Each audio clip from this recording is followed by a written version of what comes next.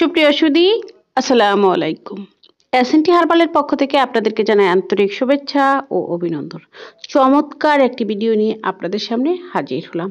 আজকে আমি এমন একটি ভিডিওর কথা আপনাদেরকে বলব, যার থেকে আপনারা অনেকগুলো রোগের মুক্তি লাভ করতে পারবেন। রোগগুলো হলো জন্ডিস। পেট ফাঁপা বা পেট ফুলে যাওয়া। অনেকের আমাদের লিভার সোরিয়াসিস হয়। তা থেকেও মুক্তি পেতে পারেন। ডায়াবেটিসকে কন্ট্রোলে রাখা এবং নিয়ন্ত্রণে রাখার সঠিক টিপস। আলসার। আলসার থেকে অনেক কিছু হতে পারে। এবং লিভারের যত রকমের প্রবলেম আছে সব কিছু সমাধান পেতে পারেন একটি মাত্র গাছে। স্ক্রিনে আপনারা নিশ্চয়ই গাছটি লক্ষ্য করেছেন। তা হচ্ছে পেঁপে গাছ। হ্যাঁ এই একটি মাত্র পেঁপে গাছের একটি মাত্র পাতা দিয়ে আপনারা অনেকগুলো রোগ নিরাময় করতে পারবেন। এর জন্য অবশ্যই ভিডিওটি শেষ পর্যন্ত দেখুন এবং আমার সাথেই থাকুন। কীভাবে রোগ নিরাময় করতে হবে? আপনাদের স্বার্থের জন্য পুরো ভিডিওটি দেখতে থাকুন। এই জটিল রোগগুলো থেকে মুক্তি পাওয়ার জন্য আপনাদের দরকার পেঁপে পাতা। পেঁপে পাতাই আপনাকে দিতে পারে এই জটিল এবং কঠিন রোগ থেকে চিরদিনের জন্য মুক্তি। আর এই পেঁপে পাতাটা হতে হবে একদম কচি, একদম মাসুম। অর্থাৎ কচি পেঁপে পাতার কচি যে পাতাটা আছে সেটা দরকার, সেটা সবচেয়ে বেশি উপকারী। পেঁপে পাতাতে রয়েছে পাপাইন। যা আমাদের হজমে সাহায্য করে। অর্থাৎ পেট ফুলে যাওয়া এবং অন্যান্য হজমের যে সংক্রান্ত বিষয়গুলো আছে, তার সমাধান দিতে পারে পেঁপে পাতা। এর জন্য প্রতিদিন সকালে আপনাকে চার চামচে তিন থেকে চার চামচ পেঁপে পাতার রস খালি পেটে খেতে হবে। এক থেকে দুদিন খাওয়ার পরেই আপনি বুঝতে পারবেন যে আপনার পেট ফাঁপাটা কমতে শুরু করেছে। পেঁপে পাতায় রয়েছে ভিটামিন এ সি কে ও বি তাছাড়াও আরও রয়েছে ক্যালসিয়াম, ম্যাগনেসিয়াম, সোডিয়াম এবং প্রচুর পরিমাণে রয়েছে আয়রন, যা লিভার পরিষ্কার রাখতে সাহায্য করে। নিয়মিত খেলে লিভারের অনেক সমস্যা থেকে আপনি মুক্তি পেতে পারেন। অবশ্যই প্রতিদিন আপনাকে হাফ গ্লাস করে রস খেতে হবে। সকালে খালি পেটে।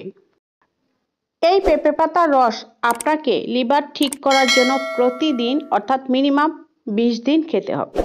আপনি এক সপ্তাহ খেলেই এর উপকারিতা বুঝতে পারবেন।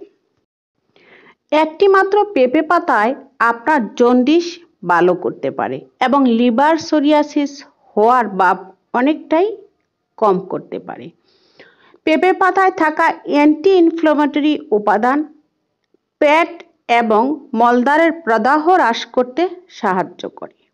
অর্থাৎ পেঁপে পাতার রস, আপনার jaundice, liver psoriasis plus ulcer.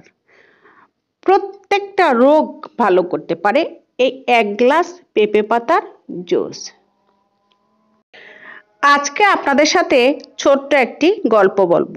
কোনো গল্প নয়, সেটা হচ্ছে বাস্তবতা। আমার ছেলের বয়স দু বছর। ওর লিভারে সমস্যা দেখা দেয়, প্রচণ্ড পেতে ব্যথা করতে থাকে, ব্যথা চোটে চিৎকার পারতে থাকে, পেট ফুলে গিয়েছিল। এমনি সময় আমার পাশেই এক কাকি বলল যে, ওকে, ঠিক গাছের মগ ডালে অর্থাৎ পেঁপে গাছের মগ ডালে সবচেয়ে যে ছোট কচি পেঁপেটা আছে, ঠিক স্ক্রিনে আপনারা একদম ছোট যে কচি পেঁপেটা দেখতে পাচ্ছেন, এরকম একটি ছোট কচি পেঁপে সকালবেলা ধুয়ে, ছিলে ওকে খাইয়ে দাও। যে কোনো মূল্যে, মাত্র দুই দিন সকালে দুটো ছোট কচি পেঁপে ওকে খাইয়েছিলাম। আল্লাহ রহমতে ওর পেটে ব্যথা তো চলে গিয়েছে, সেক্ষেত্রে ওর আর কোনো দিনই এত বড় হয়েছে এখন এবছর এসএসসি দিবে কোনো দিনই লিভারে আর প্রবলেম হয়নি। একটি পেঁপে পাতা সামান্য একটু ছিঁড়ে আপনাদেরকে দেখাচ্ছি এই পেঁপে পাতা দিয়ে আপনারা যে রস বা জুস তৈরি করবেন, এর সাথে এক্সট্রা কোনো পানি মিশাতে যাবেন না। দেখুন, হাত দিয়ে চটকালে পেঁপে পাতা থেকে পেঁপের যে নির্যাস আছে, সেটা বেরোচ্ছে। শুধু পেঁপে পাতাটা ভালোভাবে ধুয়ে আপনারা ব্লেন্ড করে এর থেকে যতটুকু রস বেরোয়, সেই রসটুকুই সকালে খালি পেটে খাবেন। ডায়াবেটিস কমাতে কিন্তু দারুণ কাজ করে পেঁপে পাতার রস। এটি ইনসুলিনের মাত্রা নিয়ন্ত্রণ রাখে। ফলে রক্তে শর্করার মাত্রা ঠিক রাখে। এর অ্যান্টিঅক্সিডেন্ট উপাদান কিডনি ড্যামেজ এবং ফেটিং লিভারের মতো জটিলতা দূর করতে পারে। আমরা ডেঙ্গুতে আক্রান্ত হই। ডেঙ্গুতে আক্রান্ত রোগীদের জন্য পেঁপে পাতার রস খাওয়ার পরামর্শ দিয়েছেন বিশেষজ্ঞরা। ডেঙ্গুর পাশাপাশি ম্যালেরিয়া রোগকেও নিয়ন্ত্রণ করতে পারেন পেঁপে পাতা রস বা জুস। আশা করছি আমার আজকের ভিডিওটি আপনাদের ভীষণ কাজে আসবে। ভিডিও দেখে উপকৃত হলে অবশ্যই চ্যানেলটিকে সাবস্ক্রাইব করবেন, পাশে থাকা বেল আইকনে প্রেস করে রাখবেন, আমার নোটিফিকেশন পাওয়ার জন্য লাইক, কমেন্ট ও শেয়ার করবেন। এবং এমন চমৎকার, সুন্দর ভিডিও পেতে অবশ্যই চ্যানেলটিকে সাবস্ক্রাইব করবেন। দেখুন কি পরিমাণে রস বেরিয়েছে। এই রসটাই হচ্ছে আমাদের স্বাস্থ্যের জন্য খুব খুব উপকারী।